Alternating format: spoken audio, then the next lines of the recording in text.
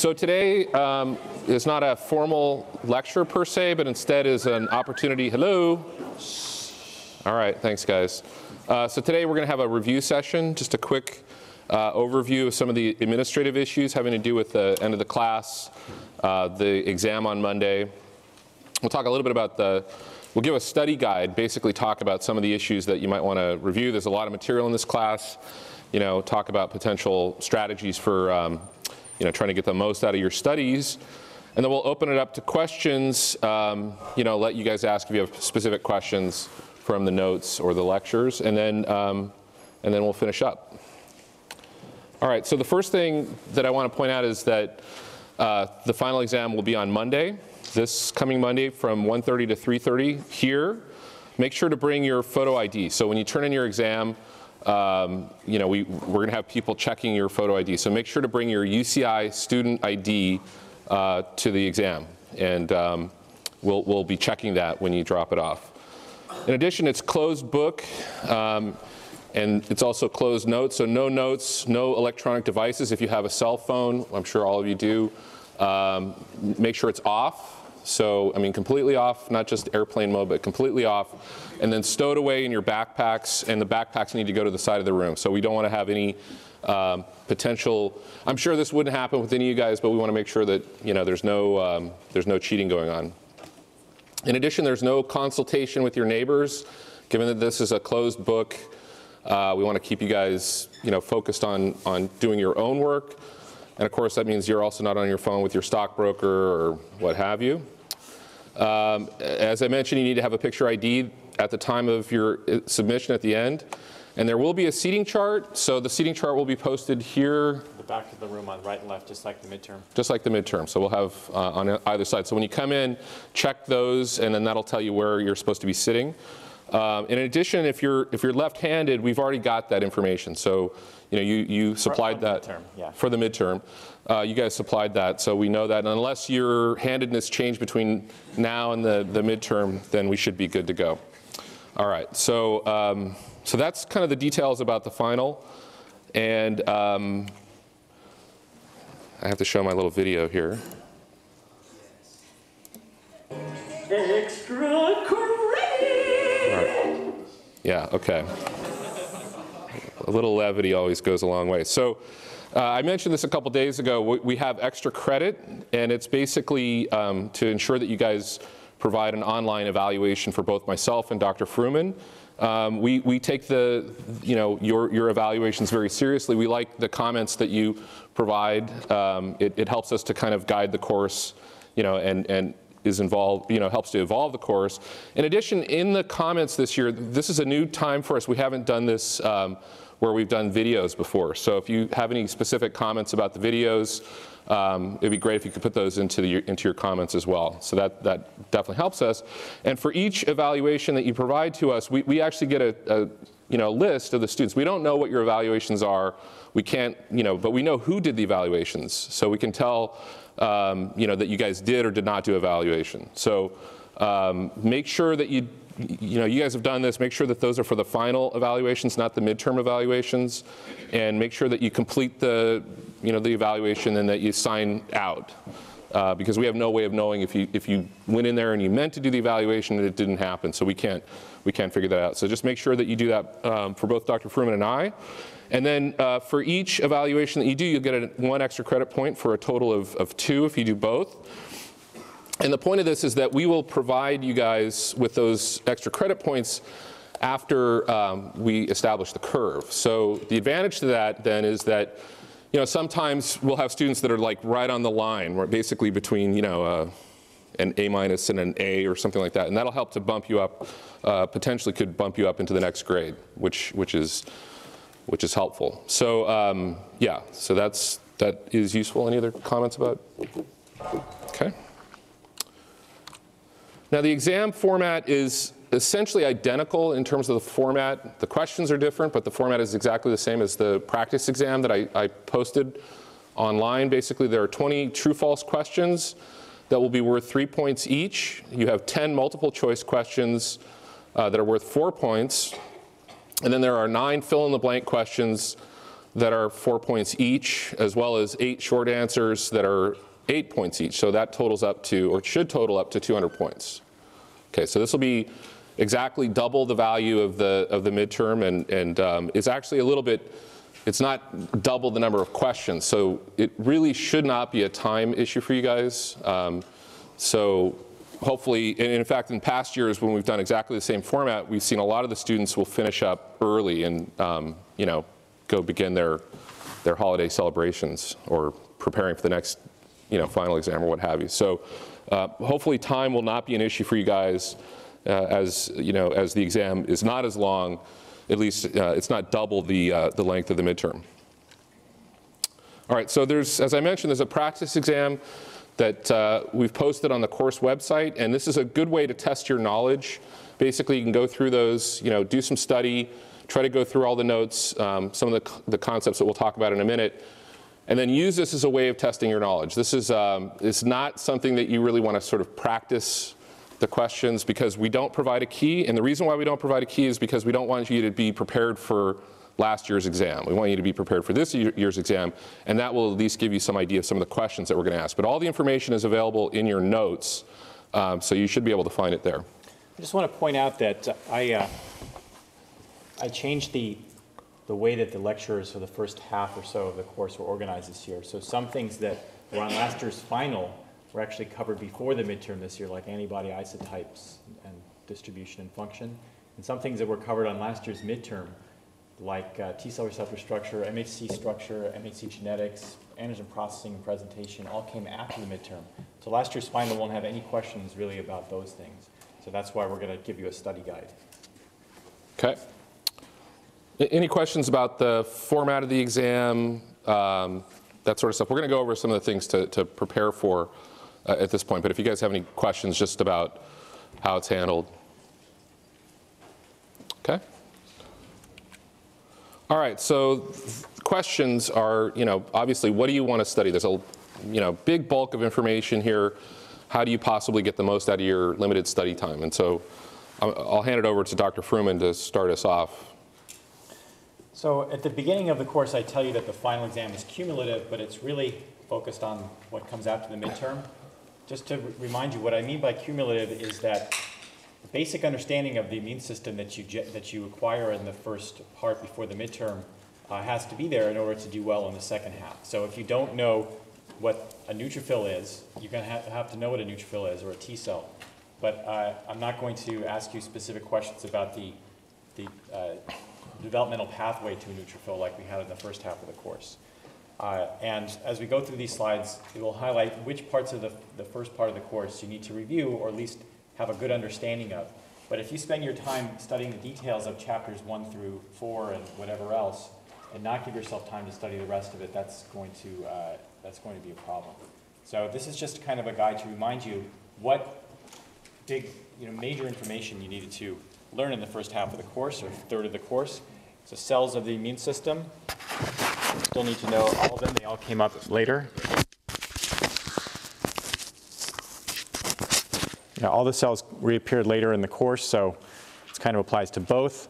You need to know the, the function. We talked about all those in the second part of the course as well, particularly the thymus in terms of primary organ and all the lymph nodes and spleens and mucosal lymphoid organs.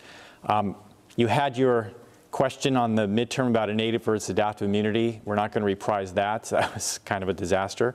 Um, but if you don't understand, still understand the difference between innate and adaptive immunity, it will be hard for you to understand uh, the hypersensitivity diseases and everything else you learned about in the second part of the course. In terms of antigen recognition, uh, we're, we're- I'm not going to ask you details about antibody-antigen interaction, but you have to remember things like, you know, T, B cells can recognize intact antigens uh, and surface epitopes. T cells recognize peptides that can be derived from surface or internal epitopes. Uh, and you have to understand how that influences the ability of T cells to help B cells. And I believe you covered that for like certain vaccines where the B cell brings in the antigen through its antigen receptor and then receives help from a T cell because there's a protein linked to the antigen. What kind of antigens or what kind of vaccines are those? Anybody remember? What we call, we just did this a couple days ago. Anybody? Yeah. Conjugate vaccine. Conjugate vaccine. Good job. Right, so you can trick a B cell into, or T cell into helping a B cell make antibodies to a polysaccharide if the polysaccharide is linked to a protein. So this is such a fundamental concept of immunology that it's important for you to understand how that works. Uh, so antibody function, again, we covered that before the midterm this, this time, but I'm sure you applied a lot of this concepts, for example, in allergy with IgE, uh, to, to really what their function is in immune responses uh, and where they are in the body. So just, just review those. It'll really help you understand immunology at the big, at the big picture. Okay, so now, as far as uh, the second part of the course, um, wait, I'm not sure that you, Yeah, these are still, okay. This from last year? yeah. Okay, yeah, um, this was from last year, so I, I think we put it in the front, in the, uh, coming later on. So for, for what you need to know about diversity generation from before, uh, it, what we talked about after the midterm was in terms of the germinal centers is where class switch recombination and somatic hypermutation occur, but I'm not going to ask you the mechanistic details about the DNA events that occur there. So things you don't need to know from the first half of the course, um, details of phagocytosis, complement details, details of antibody structure. You've had your IgG uh, structure question. I just mentioned the DNA details here. We're not going to cover B cell development on the final or B cell tolerance or the detail, like, like I said, no details of antibody structure um, except what Dr. Walsh has put in here. Um, I'm not sure what you mean by this. 25% of questions on final exam Yeah, from the first half of the course? right. Okay, well, uh, Well, what I mean is not from the first half, but from the post, it should say post-midterm. So 25% of the questions will come from Dr. Fruman, and the rest will come from me. yeah, I guess I could probably be a little bit more yeah. clear about that. 25% of the questions from my portion after the midterm. So we'll fix that when you post this. So this is what you need to st- study is TCR structure um, and know that the VDJ recombination mechanism is similar as what we learned for antibodies. You need to know the T cell receptor alpha beta complex, including the uh, CD3 chains and the zeta chain uh, involved in signaling. Um, everything we covered in terms of MHC and antigen presentation and processing, uh, why cells want to present antigens for different reasons, what T cells respond to peptides presented with class 1 versus class 2, uh, where those peptides are derived from, and what proteases and so forth generate them. Um, and here's a key one, which I emphasized as much as I could in our lectures, to understand MHC diversity. What is a gene family? Uh, why does that increase diversity of MHC? What are uh, genetic polymorphism and why MHC genes are, are polymorphic and where the polymorphism localizes? And then the concept of MHC restriction, which I'm sure came back later in the T cell uh, or T cell activation lectures. So for the B cell activation lecture, remember the distinction between a co-receptor, the B cell co-receptor with uh, CD19 and CR2 that binds to complement fragments versus uh, like a, a co-stimulatory molecule like CD40.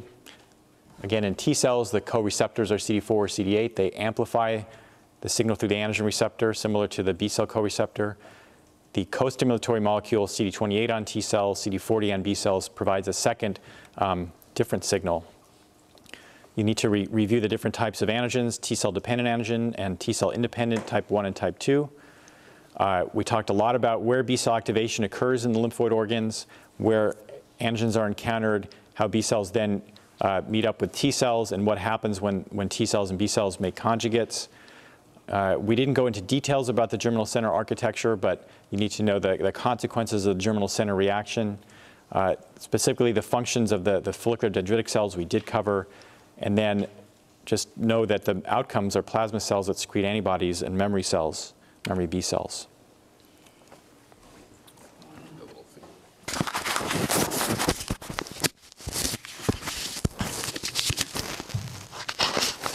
So then, um, other things to know from my part, we started out with a discussion of T cell development and, and selection, including the, the double negative T cells that are um, getting into the cortex and the different stages that they go through to become uh, committed to T cells.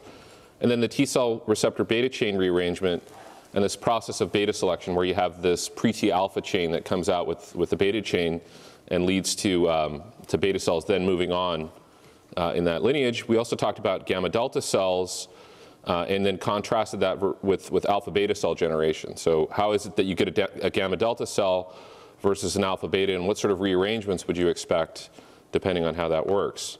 We, we spent some quite a bit of time talking about the architecture in the thymus and the movement of T cells physically as they traverse through the, the, um, the thymus as they're undergoing development, different stages of development. We also talked about positive selection, as well as this process of negative selection and how negative selection is very important for generation of what we call central tolerance. And then we spent time talking about the function of T cells. And so you should know something about cytotoxic T cells, uh, as well as helper T cells, so the cytotoxic CD8 positive T cells versus these CD4 positive T helper cells, as well as some of the, the helper subsets that we talked about, like Th1 uh, and Th2, and how they, uh, you know, the, the, the, situations that these guys polarize, meaning they differentiate either into one subset or the other, as well as the um, unique functions of those and the, the cytokines that are involved in that.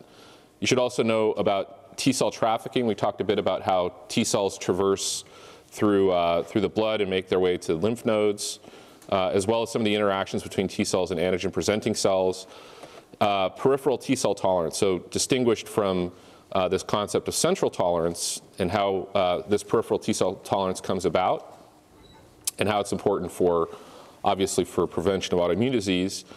Um, we spend a little bit of time talking about the immune synapse and, and T cell signaling, so you should probably um, go over your notes on that, as well as uh, the function of gamma delta T cells and what they recognize.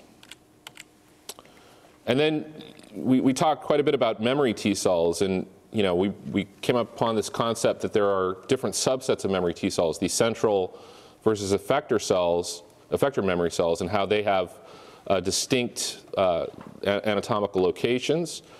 And we also went over this experiment, the series of experiments that showed that antigen is not required for the maintenance of memory cells. So you should probably go over your notes and make sure you understand that. Then we spent some time talking about these natural killer cells or NK cells, uh, including these different receptors, both inhibitory and activatory receptors, like the NKG2D CD94 uh, and these KIRs that are involved in recognition of, of MHC on the surface of cells. And importantly, what do these NK cells recognize, and then what do they do if they recognize uh, something? We also want to spend time uh, because we spent a lot of time in lecture talking about the immune response against infection. And so you want to know, uh, obviously, something, you know, how does the immune system respond to a viral infection? How does the immune system respond to bacterial infections? And what about the anti-parasite responses? And then we spent quite a bit of time talking about um, uh, immunity in mucosal sites, and in particular focused on the gut. And some of the, um, you should know some of the unique uh, immune structures there, as well as um, the, the signaling that's going on there. Should also know something about the T cell responses against different types of antigens, these non-peptide antigens like these lipid antigens that we talked about. And then we spent a few lectures talking about diseases that involve the immune system, um, including immune deficiency uh, and immune um, hyperactivity, whether that be uh, a hypersensitivity response or an autoimmune response. So you, sh you should understand the hypersensitivity responses. We actually spent two lectures on that, the first of which was entirely devoted to type 1, which is allergy, and the second where we went through um, type 2 through 4. So you should understand the potential causes and initiation of an autoimmune response and how that might be uh, provoked by a microbial infection. How does, how does uh, microbial infection impact um, tolerance such that you might develop an autoimmune disease? And then what distinguishes, this is an important question, what is it that distinguishes hypersensitivity from an autoimmune disease? Both of those are situations where the immune system kind of goes out of control and starts to attack our own tissues, but what is it that's different between those two? Um, and then the uh, factors that can lead to autoimmune and hypersensitivity disease susceptibility, as well as some of the tolerance mechanisms that break down and can uh, initiate an autoimmune disease. And then the last lecture we talked about vaccination, how you can manipulate, or the second to last lecture I should say, we talked about vaccination as a way of manipulating an immune response against um, microbial infection. And then uh, we also talked about organ transplantation and the mechanisms that are associated with allograft rejection. And we talked in particular about some of these different types of, of allograft rejection responses, like the hyperacute, uh, acute, and chronic rejections that are, um, in, in this case, the acute and chronic involving direct and indirect allo rec- recognition. So you should be able to distinguish and understand the mechanisms that are involved in direct versus indirect allo recognition. And then finally, we talked um, at the end of the last lecture about immune suppression. What are some of the targets of immune suppression? Uh, how do they work? All right. So, oh, sorry. Just interrupt for Yeah. Regarding uh, regarding type 1 hypersensitivity allergy, um, I came across a couple of uh, articles that I posted on the website this morning that are not required for you, but just of interest, maybe reading during Christmas holidays. Uh, One is a paper published in Immunity about the fact that the IgE response to bee venom is actually protective in a mouse model, so it's not just an annoying um, fact of, uh, of of anaphylaxis. And then the other is a, is an article in the New York Times that discusses how we might avoid uh, getting out allergic and asthmatic at all just by going to milk cows on a farm. So it's pretty interesting. See another advantage of milking cows. So, all right. So, um, some other things to understand uh, would be to be aware of how activated T cells are, are armed uh, and then can exert an antimicrobial uh, impact, and the different pathways that are involved in Th1 versus Th2 generation uh, and function. And, and, you know, we talked about some examples of where if the wrong choice is made, that ends up being a problem. So, you know, go back, uh, definitely want to review that. Study uh, this concept of, of leukocyte and lymphocyte trafficking and the, the types of receptors and ligands that are involved in that process, as well as understand some of the uh, conceptual bases for you know, the various immunological processes that we've, we've talked about. Uh, you know, for example, the, the evolution of an adaptive immune response, you know, the, the regulation of that, uh, and so forth. And then talk, you, you probably want to review a little bit about how some of the microbes can basically thwart an immune response. How do they try to avoid immune detection? Some of the things that you do not need to know from my section include um, the basics of, of HIV replication, the, the proteins that are encoded by HIV itself, the virus. Um, and you don't need to know every single detail about how HIV enters the cell. Um, you know, for example, the function of GP120 and, and GP41 that are involved in the fusion of the virion with the host cell. Uh, you also don't need to know all the details in terms of uh, the interactions between adhesion molecules. And you know, I give a lot of, of tables throughout my, my uh, presentations. You don't need to know every single detail in those tables. So you don't have to memorize all that, but really kind of get the overall uh, sense about what the table is describing. You know, for example, the different hypersensitivity responses. Uh, it might be a good idea to know, at least since we spent a lot of time on that, to know something about how each of those work and some of the, uh, the target organs, the target antigens, that kind of stuff. All right, so uh, we'll, we'll stop here with the, this, um, this overview, and I want to say thank you guys to, you know, for the fact that you've all been really, you know, really um, great kids, great, great students, I shouldn't say kids, You're not quite kids anymore, but you've all been very, very courteous, you've had good questions, um, and, you know, we, we certainly appreciate your attention here. And we hope you've, you've learned something interesting about the immune system. Um, and again, I want to encourage you, if you're interested in immunology, and, and hopefully you still will be after the final exam on Monday, um, it's not just a two-hour window that you retain all that information. We have a class in the, in the spring that Dr. Fruman will be teaching entirely by himself. No, I'm just kidding. Both of us will be teaching. Um, I didn't want to spring it on him here in front of everybody. So, and that class is, is advanced immunology. It's M119, and it's really designed for, um, you know, obviously if you're interested in immunology, and we, we, we go through a lot of more, um, you know, into more detail in specific areas. You know, I, I cover a lot in immune tolerance and autoimmunity. Um, Dr. Fruman covers a lot in signal transduction and, and B cells.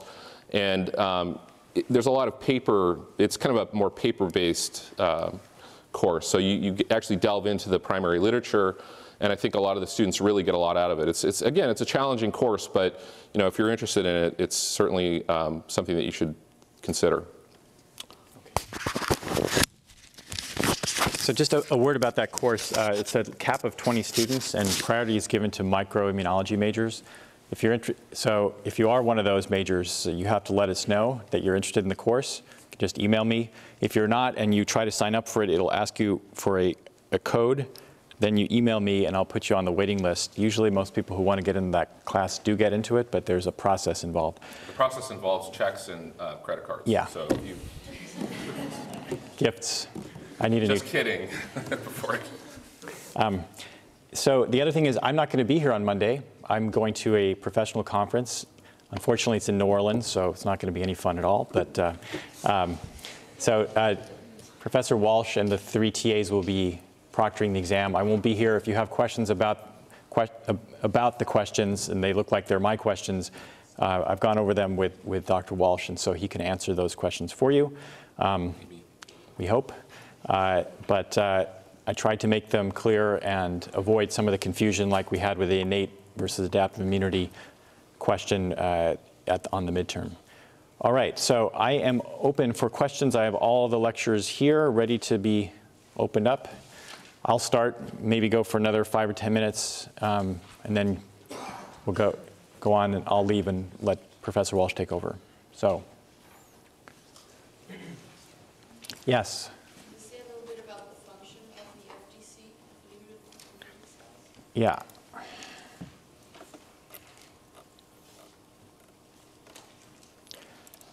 So it's basically this slide here. What does that mean? Okay. Um, it's an antigen depot. It has complement receptors that trap immune complexes and store them for a long time on the ends of these long dendritic processes here.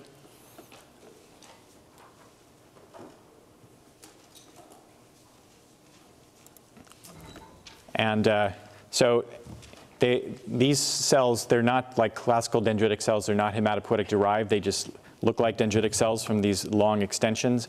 And this is where the antigens are trapped, and they stay there for weeks at a time. And this is the, the depot or the, the source of antigen when B cells are undergoing somatic hypermutation and testing their ability to bind antigen. Uh, it's largely from interactions with the FDCs.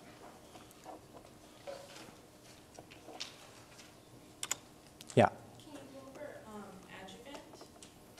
I think that's, I think it's lecture. Oh, I'm sorry. oops. Yeah. I'll come back to it, promise. Adjuvants involve TLR ligands sometimes. We talked about that in my part. Anybody? Bueller? Yeah, go ahead. talk about alloreactivity and when that happens?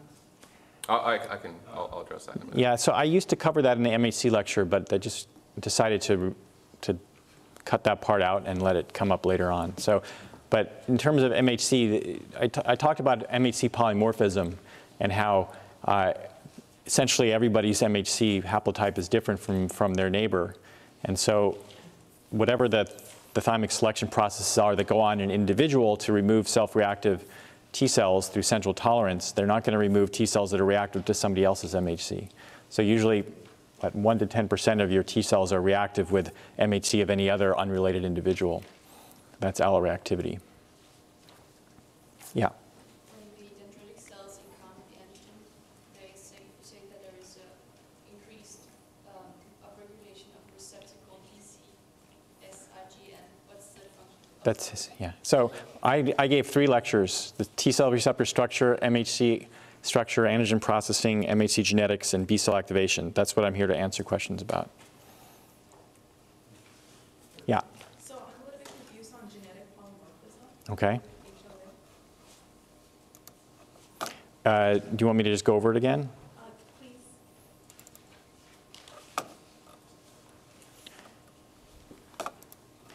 So this is a good figure to review because it illustrates both gene families and genetic polymorphism. Uh, gene families means that there's three genes for class 1 MHC and three pairs of genes for class 2 MHC. Forget about HLA E, F, and G and HLA DM and DO for this particular discussion. Uh, and so every, every cell that expresses class 1 is going to have uh, three different genes all expressing at the same time. So you'll have three different class 1 alpha chains all pairing with beta 2 microglobulin. So that's gene families, similar concept for class 2. But because the population is diverse and there, there are hundreds of different alleles for each class 1, let's just stick with class 1 for now. That means that uh, typically uh, the paternal allele and the maternal allele are different. They have different structures in the regions that contact peptide and T cell receptor, and both alleles are expressed at the same time. So you have two different alleles for HLA-A, two different for HLA-B, and two different for HLA-C. That means almost everybody is heterozygous for each of the three genes. So polymorphism accumulates in, and, uh, in the population, and so there's a lot of different alleles for MHC class 1, and the same is true for almost all the class 2s as well, with the exception of DR alpha. Uh, and then we came back and we talked about where's the polymorphism, and again, focusing on class 1, polymorphisms, in other words, changes in the gene leading to a different allele tend to accumulate here in the regions that contact the peptide or that face up towards a T cell receptor. They do not accumulate in the alpha 3 region that might contact the CD8 protein or beta 2 microglobulin. They're more likely to be deleterious here.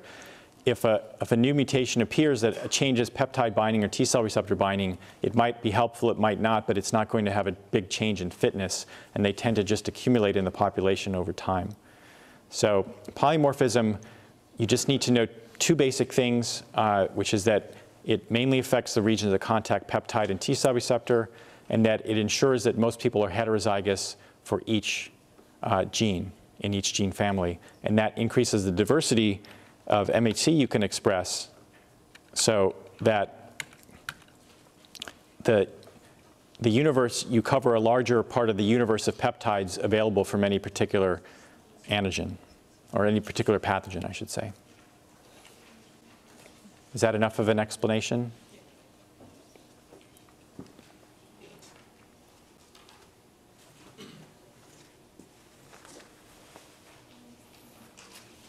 Any other questions for Dr. Fruman? All right.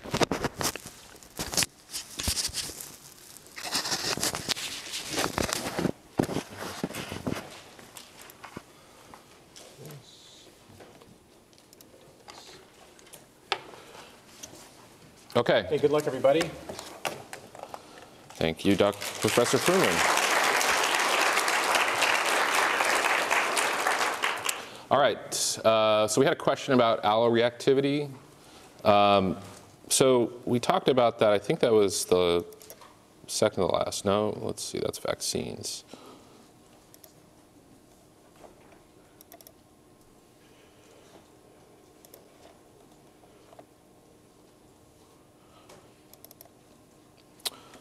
So the point of alloreactivity is really when you, if you're doing something like a transplant where you have um, somebody where, you know, Dr. Fruman was just talking about these differences, these polymorphisms that are associated with MHC.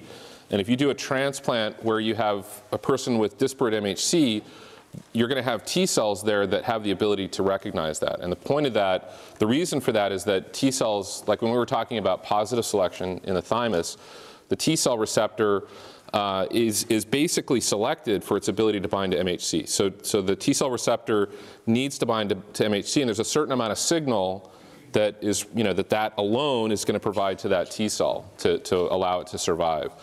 Uh, moreover, we know that, you know, over throughout evolution, the T cell receptor genes have evolved in a certain way to be able to bind very avidly to, um, to T cell receptor has been capable of binding MHC very very avidly. So the point of that is that if you, if you take somebody else's MHC and you put it into um, a different, into a graft recipient, that recipient will have T cells that have never been negatively selected against those, those MHC. And so if there's enough signal, if there's enough um, interaction that's set up between that, um, that disparate MHC and that T cell receptor, then you're going to get activation of that T cell, and then the consequence is that you'll get a, um, an allogeneic response.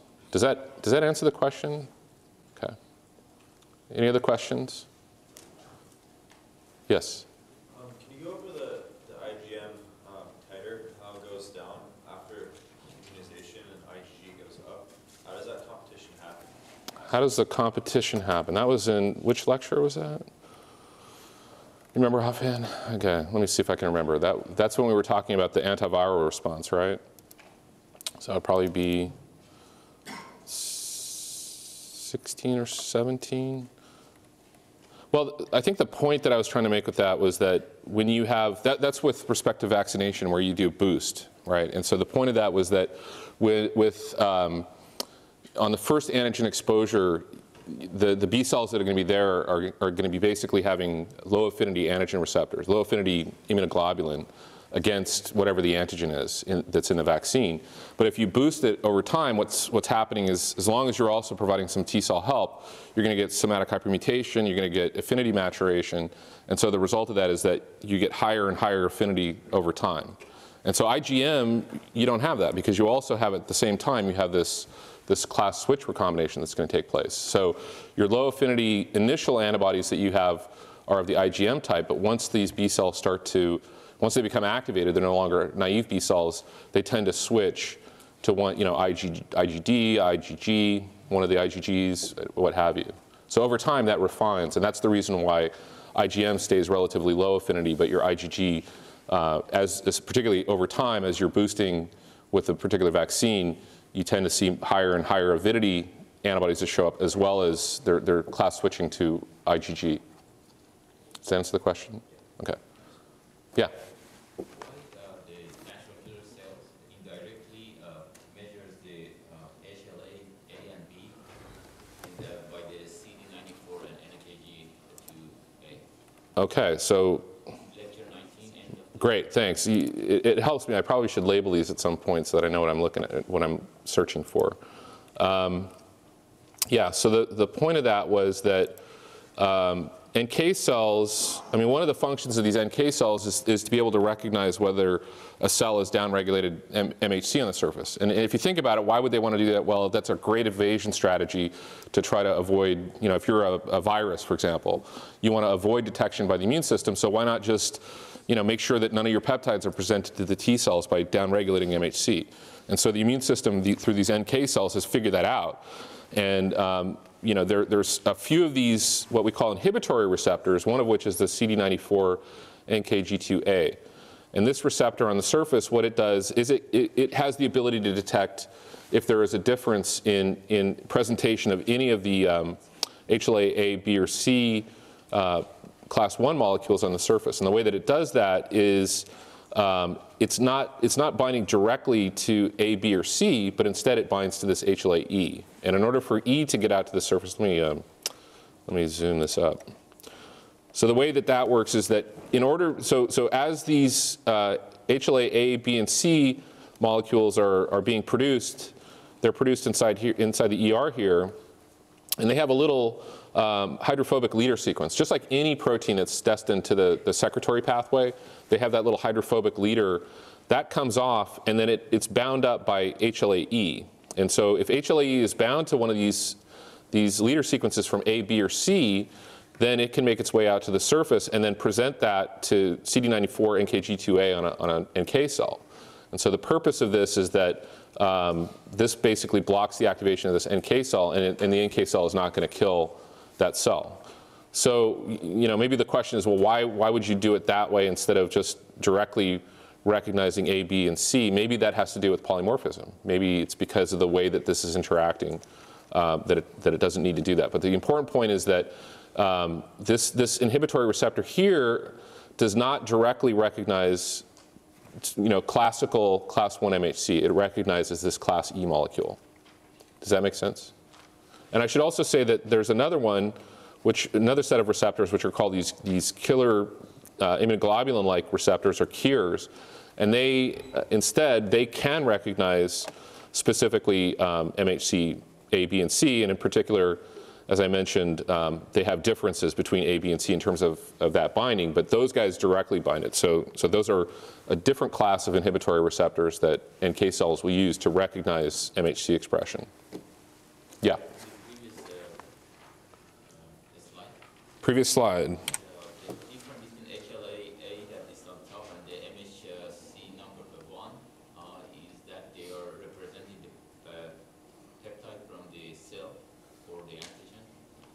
uh, is this peptide on HLA-E for, uh, uh, an antigen that's derived from inside the cell? You mean like a, oh, this? Oh, well, this is probably some, you know, some cell, cell- some autoantigen or something like that. The difference is, this is actually uh, from class one, two, or three. It's one of those, those um, signal peptides that's actually from A, B, or C. And if it's not there, you know, so let's say that the cell is infected with some virus that targets uh, HLA class one expression, then those peptides are, are not going to be there because, you know, this virus has shut down class one expression, right? So the consequence of that is that HLA-E will not be loaded with that peptide. And as you guys learned in Dr. Fruman's lectures, it's also not going to traffic appropriately to the cell surface. So it needs to be bound to a peptide to be able to make it. And E is, is specific for uh, that, that leader peptide from A, B, and C. Yes, I understand that, but my question was the HLA-A is the same as MHC1. Yes, it's, a, it's one of the, the or one of the, um, the genes for that. Any other questions? Yeah. Um, uh, is this receptor, uh, the CD94 KG2A, is that similar to the KIR in which, in which it just, it binds to a very specific sequence on the, on the MHC, or does it recognize the whole thing for HLA-E?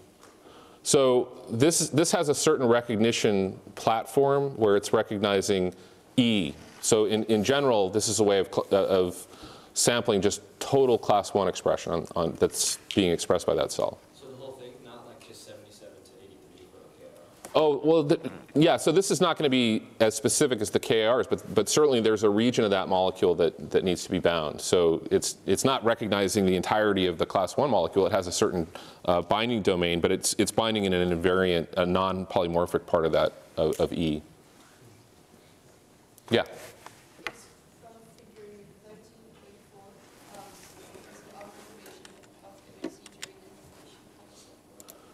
Sorry, 13.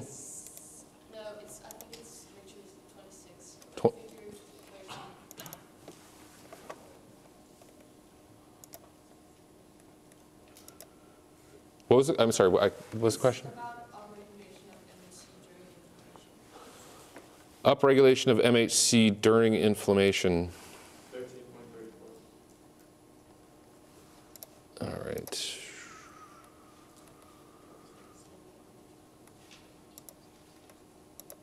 Well, just, just, what, what's the question?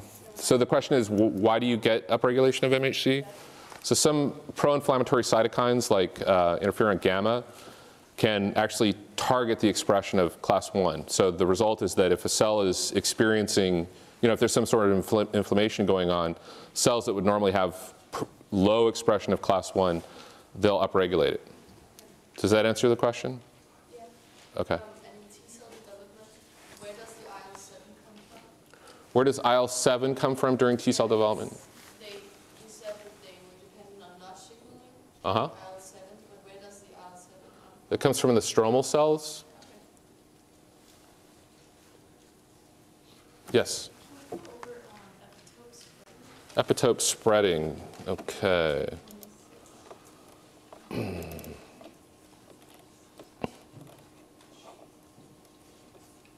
No, that's not it.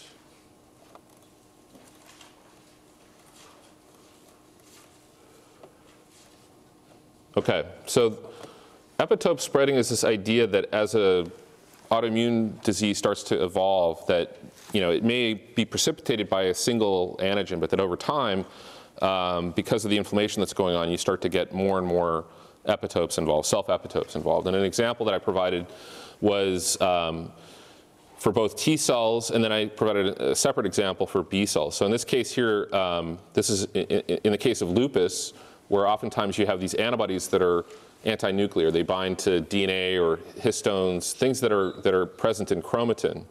And so let's say here you have a piece of chromatin uh, that's got DNA and it's got a histone, you know, these nucleosomes with, that are made up of these histone proteins.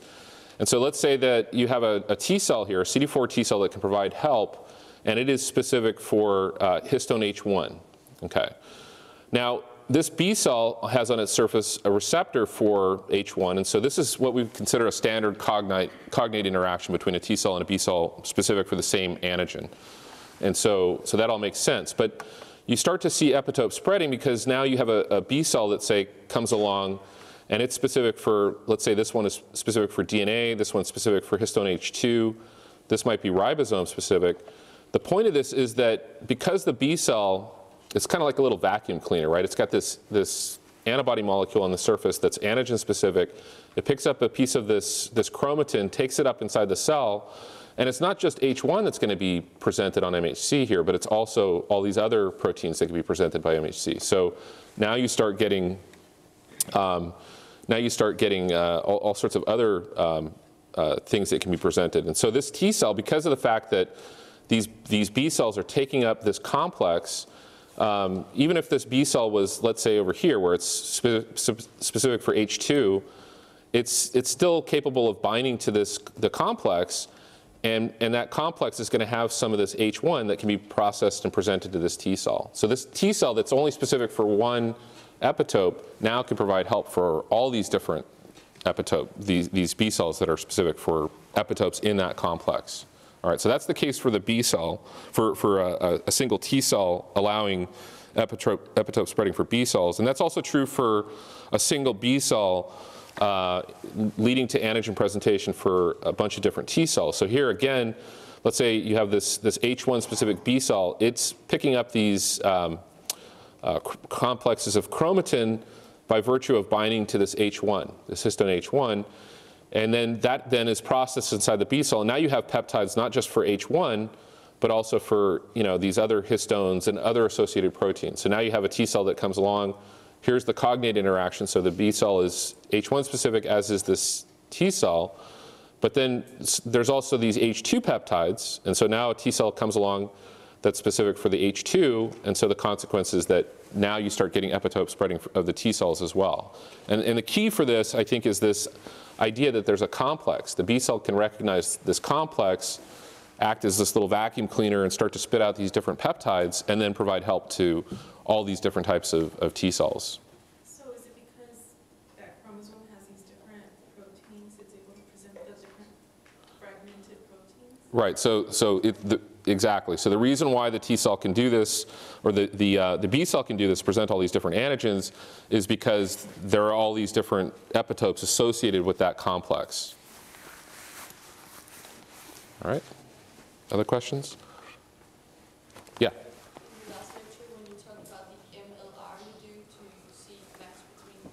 Yes. Mixed lymphocyte reaction, huh? yeah, you want as little T cell proliferation and CTL as possible, right? You, you, uh, the, yeah, if you're, if you're a physician and you want to do, you want to do, do a transplant, you want to see as little T cell activation as, as possible. And you can measure that either by looking at proliferation or CTL activity. Exactly.